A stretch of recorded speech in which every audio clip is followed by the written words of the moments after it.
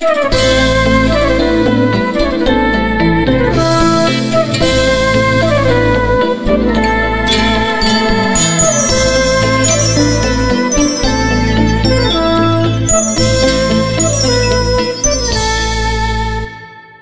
Здравствуйте, вы смотрите программу «Формула здоровья». Сегодня мы находимся на территории инфекционного отделения Одинцовской областной больницы. И в преддверии празднования Дня медицинского работника встретились с заведующим инфекционным отделением Светланой Ильиничной Киян. Здравствуйте, Светлана Ильинична. Здравствуйте. Безусловно, пандемия э, вас э, встретила. Вы были на передовой, вы были первые, кто э, встретился лицом к лицу с пандемией, с коронавирусом. Ваш коллектив и, безусловно, каждый из вас для нас это герои. Эти два с половиной месяца вы боролись за жизни людей каждый день, практически 24 часа, 7 дней в неделю, без сна, без отдыха, без нормального обеда. Мы бывали неоднократно и в вашем отделении, и снимали благодарных пациентов, которые вылечились после коронавируса. И, конечно же, хотелось вот сегодня в преддверии этого праздника вот поговорить и хотелось бы услышать от вас рассказ о людях, которые действительно вот положили все свои силы на то, чтобы спасти других людей. Знаете, ну, слово «герои» для нас как-то ну, необычное слово, потому что мы делаем свою работу, мы работаем и лечим людей. Это наша действительно работа, это наша инфекция, которая для нас была совершенно незнакома.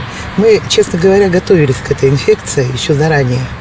Мы читали очень много литературы, переводили статьи по китайским методическим рекомендациям, по американским э, методическим рекомендациям. Мы были, в принципе, э, теоретически готовы. Ну, то есть и... уже когда вспышка началась в конце 2019 года в Китае, в принципе, вы понимали, что рано или поздно ну, придется будет, столкнуться да, лицом к лицу с этой инфекцией. Да, она придет к нам. И она действительно к нам пришла, и мы действительно оказались первыми, которые принимали этих пациентов. Эти пациенты – это те люди, которые отдыхали, приехали из Куршавеля, отдыхали там, и потом через некоторое время они оказались у нас. Мы начинали лечить эту пневмонию, ну как пневмонию, да, а вот Потом мы поняли, что это необычная пневмония, это не та пневмония, которая, которую мы привыкли лечить, это не бактериальная пневмония, это вирусная пневмония. Э, вирусные пневмонии мы тоже лечили, но это не совсем та обычная пневмония. Ведь э, здесь мы это увидели, что протекает как ОРВИ, а потом вдруг внезапно у человека появляется одышка и теряется э, сатурация. И вот тогда начинается страх за жизнь этого больного. Я хочу сказать о своем отделении, о своих врачах. У нас их 8 человек. Три – это ветераны, которые давно очень работают в инфекционном отделении. Это Третьякова Татьяна Сергеевна, это Сенцова Надежда Георгиевна, это Антонова Надежда Михайловна. И пять человек – это молодых врачей, которые пришли к нам пять лет назад. Это Кристина Игоревна Драганова, которые пришли 7-8 месяцев назад. Это Макеева э, Лариса Викторовна, э, которая пришла год, год назад. Это Калиджан Элеонора Суреновна. Это врачи, которые вот на, на моих глазах, это молодые те студенты, они за это время выросли как настоящие врачи. То есть это была хорошая школа? Это была хорошая школа, потому что ну, Литвинов Александр Анатольевич, он у нас работал. Работал. Я не могу сказать, что это молодой врач, у него стаж большой. Вот, он действительно очень умный, и вот его все называют героем, это действительно так. На время больничного листа он заменил, это был самый тяжелый период, он заменил меня, потому что я подумала... Вы тоже заболели? Да, я тоже одной, одной, кстати, одной из первых, Да, Светлана я заболела Ильинична. одна из первых. Но вы сразу поняли, что это ковид, или все-таки вот была надежда на то, что это, ну, обычный... Нет, я сразу поняла, что это ковид, и ну, я лечилась дома амбулаторно, поэтому, конечно, мне было плохо. Я это испытала на себе. Вот, э, я лечилась самостоятельно. Ну и, в принципе, через 10 дней я прошла эту всю скажем То есть так. Вы, вы ее знаете уже а, вот весь этот процесс не только со стороны, безусловно, врача, специалиста, да. а, а и со стороны пациента в том числе. То есть вам, как никому другому, понятно, что испытывает Честно могу пациент. сказать, я очень боялась, если я заболею. У меня были истерики, я истерила, что вдруг я заболею со своими заболеваниями. Но оказалось, то, что я вылечила сама себя, вот, то, что мне помогли, мне привезли э, кислородный концентратор, я дышала кислородом, в общем, ну, так скажем, вылечилась. Вот. И на время моего больничного листа я была месяц, то есть две недели я болела, две недели я восстанавливалась. На время больничного листа заменил меня Александр Анатольевич Литвинов. Вот. Я очень рада, что этот человек работает в нашем отделении. Он единственный мужчина в нашем отделении. Вот. Я... Почему я рада? Потому что это умный, рассудительный. А, мы с ним очень много обсуждали первых пациентов. По существу мы с ним вывели свою схему. Мы читали очень много, мы не спали ночами. Вот. Э, он мне кидал информацию, я ему кидала. Потом это все обсуждали. Ну, помимо того, что мы с ним обсуждали, мы еще обсуждала, мы все обсуждали с врачами. То есть мы были готовы теоретически к этой инфекции. И вот когда к нам поступил пациент, мы тогда мы понимали, что он тяжелый он тяжелый, и э, я изначально была против э, аппарата ПВЛ, вот, и до сих пор мы стараемся больных именно э, вытягивать, так скажем, да, чтобы они у нас выздоравливали здесь, в отделении. Вот. Я не потому, что там я не доверяю своим коллегам-реаниматологам, нет. Ну, для нас, во-первых, это опыт.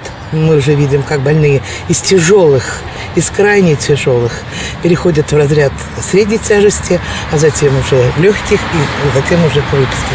Вы знаете, это действительно очень... Это, ты получаешь такой адреналин, когда ты вот ты видишь, что он тяжелый, ситуация низкая. 74 вот поступал к нам молодой человек. И когда мы видим, что мы его вытягиваем, а ночами мы все не спим, мы все сопереживаем, мы звоним друг другу, мы интересуемся, как наш больной, независимо, выходные, ночь, не ночь. То есть, понимаете, что мне нравится в моих врачах, в моих коллегах, это сопереживание.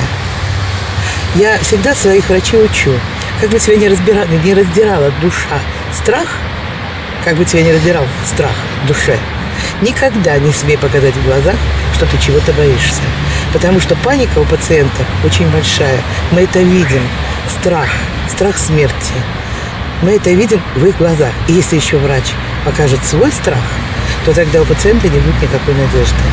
Но все-таки вот э, у ваших э, врачей вам удалось как руководителю настроить э, людей на правильный лад, потому что ведь далеко не все, но мы видим в стране примеры, когда вот смогли врачи действительно совладать собственными страхами. Ведь, безусловно, они понимали, что рано или поздно каждый из них переболеет. Более того, переболеют их семьи. И вот это ведь накладывается, да? да. Но, но с другой стороны, ты ведь врач, ты ведь это давал твоя клятву. Работа, да, это твоя работа. Твоя работа спасать жизни других. Вы знаете, у нас Татьяна Сергеевна Третьякова, она работает, э, у нее, ну, скажем так, возраст 65 плюс. И когда началась э, у нас появился этот больной, когда началось, начались поступления этих пациентов, то я решила немножечко ее поберечь. Я ей сказала, Татьяна Сергеевна, оставайтесь, работайте с документацией, печатайте там выписки, дневники, ну, с документацией работы. Она согласилась. Прошло два дня. Вдруг я смотрю, Татьяна Сергеевна одевает этот костюм защитный и собирается идти. Я спрашиваю, вы куда? Она говорит, я тоже пойду. Я тоже, я все идут, а я что, должна в стороне быть? Понимаете, вот именно ну, сплоченность коллектива, да, э, вера в свою профессию, наверное, да, вот сопереживание с пациентами.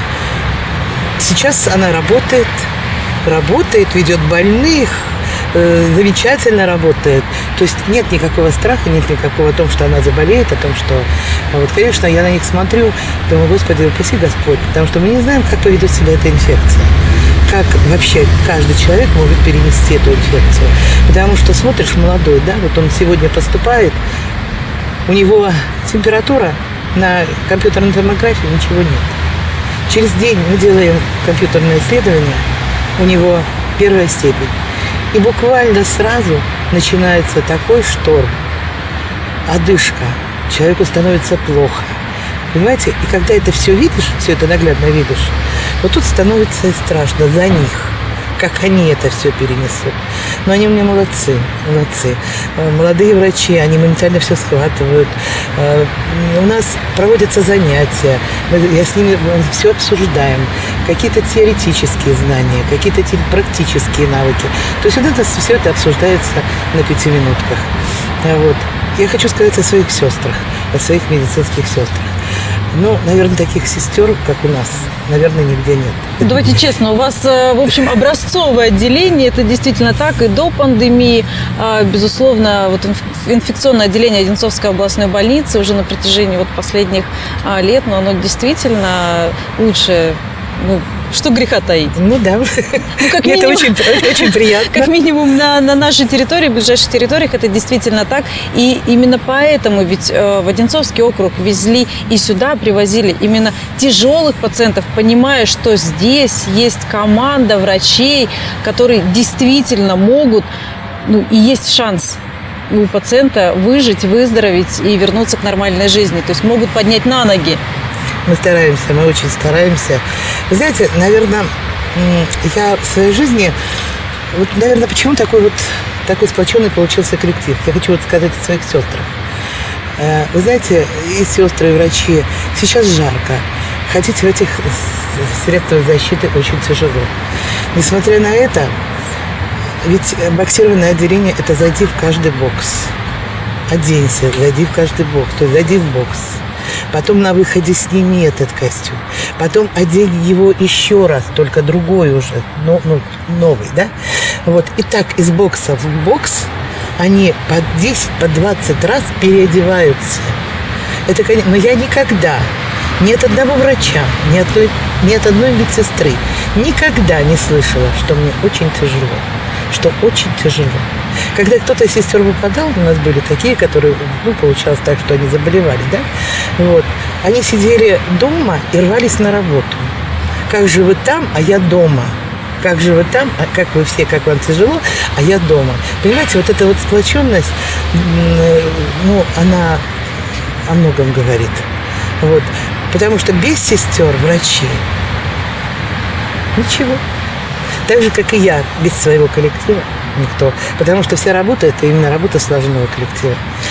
Светлана Ильинична, вы э, сказали в интервью, э, что вот за это время да, выработали, безусловно, свою схему лечения и смотрели, и э, пробовали, понимали, много читали, изучали. А у пандемии конкретно у этой коронавируса ведь не было четкого шаблона, не было изначально не было. четкого понимания, и сейчас а как нет. лечить, да, и, сейчас и нет. что хорошо, и как справиться с этим быстрее. Ведь вакцина еще э, только-только начинаются испытания, и, безусловно, когда пойдет она, да, ну, пока рано об этом говорить, нет лекарства и нет схемы, то есть нет э, какого-то вот некого, я еще раз повторюсь, шаблона, чтобы можно было на одного примерить, на второго с небольшими корректировками.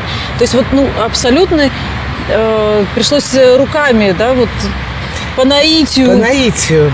Мы, мы когда назначали препарат, это вот был первый наш больной, он был очень тяжелый, как я уже говорила. Потом мы брали нашу историю это по, по лечению этого больного Министерства здравоохранения. Может быть, мы явились каким-то, скажем так, ну, толчком, что ли, для каких-то, то есть наша схема для каких-то рекомендаций. Вот. Э, я не знаю, честно говоря. Но судя по тому, какие временные рекомендации, то, что мы назначали, одни из первых, ну, я считаю, что мы тоже внесли какую-то свою лепту для назначения этих временных рекомендаций. Мы поняли, что наша схема, она работает и работает до сих пор. Мы это видим, а вот, поэтому мы стараемся бороться за каждого больного, э, чтобы здесь, именно здесь больной получил правильное лечение и выписался с веселой улыбкой на лице. Вы знаете, я очень благодарна нашему главному врачу Фадееву Андрею Васильевичу, потому что мы были обеспечены полностью всеми препаратами. Мы никогда не слышали, я никогда не слышала, что нет, нет денег, нет, потому что человеческая жизнь, она бесценна. И да, лечение дорогостоящее, лечение дорогое, но мы обеспечены препаратами полностью полностью. Вот. Благодаря фонду, наверное, да, благодаря Минздраву, благодаря, э, самое главное, это нашему руководству. Наше руководство, оно очень хорошо нам помогает. очень хорошо. Андрей Васильевич сюда ходит, делает обходы, смотрит больных.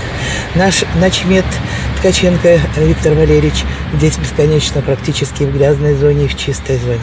То есть, понимаете, наше руководство нас не оставляет. Мы очень благодарны нашему главе, который нас э, Андрей Робертович Иванов, э, Татьяна Викторовна Одинцова, которые тоже нам помогают.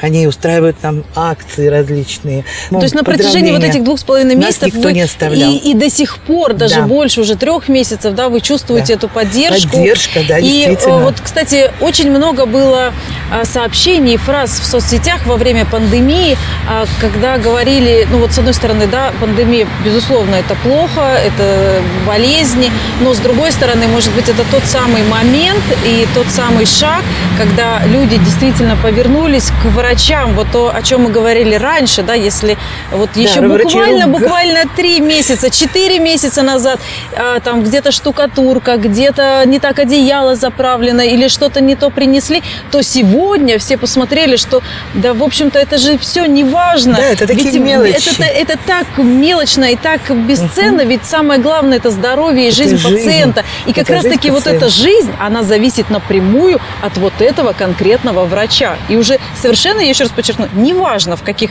э, стенах, с какой штукатуркой ты находишься. Главное, чтобы ты выздоровел. Да, вы знаете, когда я делаю, я делаю обходы каждый день с врачами, то есть э, со всеми врачами мы обходим, я сначала обхожу тот корпус, потом этот корпус, мы решаем сразу на обходе, что нужно добавить этому пациенту, что нужно какие-то назначения поменять. То есть это все наглядно, все это решается. И что мне очень приятно, когда пациенты с радостными такими яркими глазами говорят о том, что спасибо вам. Спасибо вам за ваш коллектив, за хорошее отношение персонала. Спасибо вам. Вы знаете, вот для меня, как для заведующей отделения, это дорогого стоит. Когда пациенты отсюда убегают с улыбкой. Спасибо вам, доктора. Вот это самое главное, по-моему, в нашей профессии. Ну то ради самое чего главное. вы да, делаете, ради, ведь ради это все. Это, вы знаете, у меня и пришли жизни... в профессию, ведь все-таки врач это действительно тот, это кто призвание, это призвание, это призвание, и это что-то свыше. Ведь да. далеко не каждый может Нет. стать врачом, а хорошим врачом э, тем более. Когда-то моя дочь мне сказала, я хочу быть врачом, когда научилась. И я говорю, ты должна подумать, потому что если хочешь быть хорошим врачом, ты должна отличиться от всего. Это жить больными, жить работой. И когда она увидела, как что среди ночи, в 4, в 5 утра я могу сорваться, поехать в реанимацию, там, или все время на телефоне. Конечно, она поняла именно вот ту тяжесть нашей работы, моральной. А еще когда тяжелый больной, то тут не спишь, не ешь, постоянно мысли, постоянно думаешь, как ему помочь. Вы знаете, у меня в жизни, ну, наверное, мне очень везло. У меня были очень хорошие учителя, очень хорошие. Когда я училась в клинической ординатуре, у меня э, при Российской академии после дипломного образования на кафедре инфекционной болезни. У меня доцент кафедры Ирина Петровна Трякина. Это мой, мой был куратор, мой учитель. Вот именно сейчас до сих пор мы с ней поддерживаем отношения. И когда вот, ну, бывает, что тяжелый больной, а я один на один с ним – и я не знаю, к кому мне обратиться. Вот я один на один. Я звоню ей, и я думаю, что мне нужно назначить ему то-то. Вот я бы ему назначила вот это. А сама думаю, правильно я это делаю или неправильно. Потому что на кону жизнь. Я звоню ей, и я слышу, когда я все расскажу про этого больного, и я слышу от нее, Светланочка, вы все делаете правильно, действуй. Вы знаете, и я выдыхаю, и все. И у меня вот как будто оковы спали, и я начинаю лечить больного, и больной выписывается. Вот это для врача это самое главное. Вот, ну, я не знаю, это такой адреналин, что когда твои больные тяжелые, казалось, казалось бы, уже, ну, все, и вдруг он начинает выздоравливать, мне кажется, это самое главное в нашей, в нашей профессии и в нашей жизни. У меня есть самый замечательный человек в моей жизни. Не только даже, вашей. Да, это человек, ну, которого, по-моему, любят все. А вот. Э, мы с ней на протяжении многих лет знакомы, мы с ней на протяжении многих лет э, общаемся. Это человек, который никогда не пройдет мимо твоего здоровья, никогда не пройдет мимо твоей проблемы. Это человек, который всегда тебе поможет в любое время дня и суток. Если вот сразу она не может дать ответ, она говорит мне, дайте мне 15-20 минут. Через 15-20 минут проблема эта будет решена. У меня такое ощущение, что для этого человека нет никаких преград, нет никаких проблем для решения каких-то вопросов. Я говорю сейчас об Ольге Александровне Мисикевич. Но все мы прекрасно понимаем, что решение любой проблемы для нее дается непросто. Это и здоровье, это и жизнь, и все остальное. Это мой учитель по жизни. Это мой куратор, это мой учитель, это мой друг. Я всегда на нее смотрела и думала, как может в этой голове, в этой красивой женщине умещаться все. Я только подумаю, а она мне все разложит. А я ей все время говорю, ну вы же не инфекционист. Как вот, ну как, вот как, понимаете? Я ее очень люблю, я ее очень уважаю. И я считаю, что э, вся больница, которая, э, которая была, она, у которой она была главным врачом, э, вся больница ее помнит, любит. И, и многие к ней обращаются, несмотря на то, что она работает директором фонда. Вот, всем по любым проблемам к ней обращаются, и она никогда ни одному человеку не откажет. Знаете, вот я на нее смотрю, и вот я понимаю, что учиться у нее еще многому надо. А самое главное – это человечность. Я помню, когда она нам говорила, вот представьте, что этот пациент – это ваш родственник. Как бы вы поступили? Ну, наверное, бы не так, правда? И все понимали, что да, действительно. Она говорила тогда нам, нет плохих пациентов, нет бомжей, нет алкоголиков. Нет, это люди. И никто вам вправе не давал решать их судьбу. Это решает только Бог. Понимаете, это настолько вот эти слова, они, ну, в моей голове всегда сидят. Вот. Поэтому я своих врачей также учу. Относитесь к пациентам с любовью. Потому что на этом месте можем быть мы все с вами.